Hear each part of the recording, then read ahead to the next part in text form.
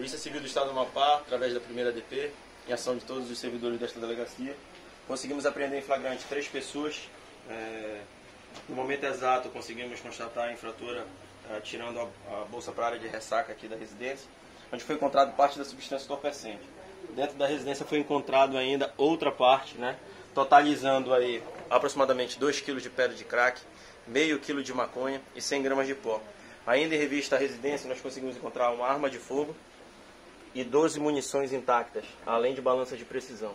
Ah, dentro da residência ainda haviam duas crianças, filhos do casal, de aproximadamente 5 anos de idade, que serão entregues ao Conselho Tutelar. Polícia Civil.